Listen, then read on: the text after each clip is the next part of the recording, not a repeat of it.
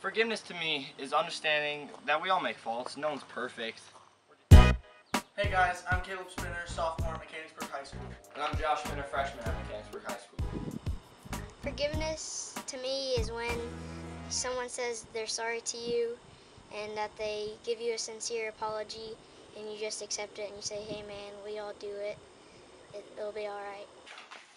Saying I forgive you to me is basically like telling somebody no harm done. We're here to invite you to an event called Ultimate Worship, which is at the River of Life Church in Urbana. The event will be held on Sunday, August 20th from 6 to 8 p.m. and you do not want to miss it.